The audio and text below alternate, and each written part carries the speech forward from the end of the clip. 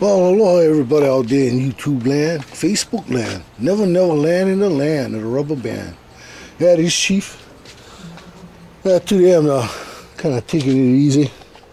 Wanted to show you uh,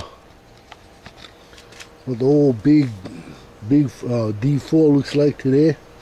I wiped it down a little bit. Uh, wanted to show you guys something, something that I don't think this machine is seen since uh, its days with uh, General uh, Construction Company and uh, Allied Aggregates. Full tank. So, I got a guild, which, I mean, it's, it's the coolest stuff, man. I haven't had the chance to fill this machine up like that. And uh, this month I I figured, man, I just had to, even though uh, it would uh, it would leave me strapped. Uh, as far as uh, cash goes.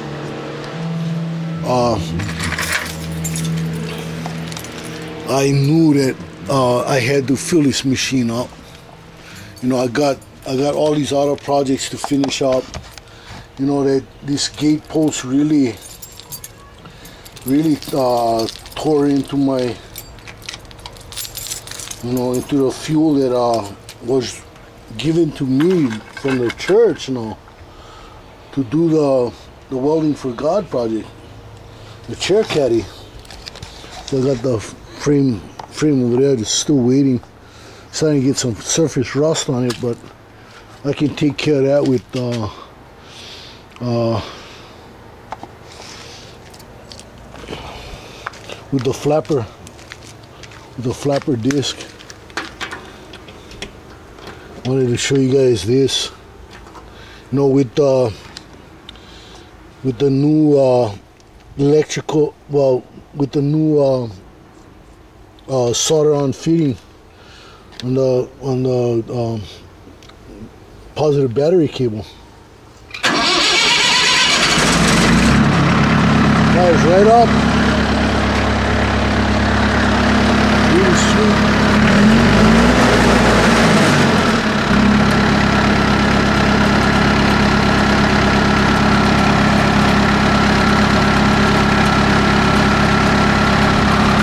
Before, what was happening is, you know, I, if I had to uh, crank it for any extended period of time, the cable would get hot because the connector was messed up. So I got a, I got a copper connector on it. Cranks up nice and quick.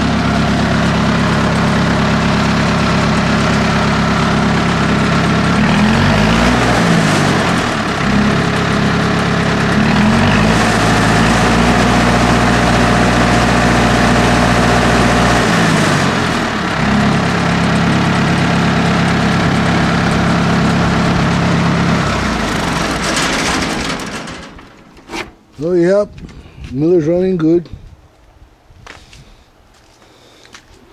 So uh, that's what it is today. Today is a Miller update. Know, I went out to Waimea, got got uh, a little bit more fuel. I still have a five gallon right there. That that five gallon, the one on the on the right. That one still got got fuel in it, so that'll keep me I, I think it'll keep me through this month. I don't do big welding like this thing used to do back in the day but uh I do weld. So this is a Miller update. Old chief bidding everybody out there a big aloha wide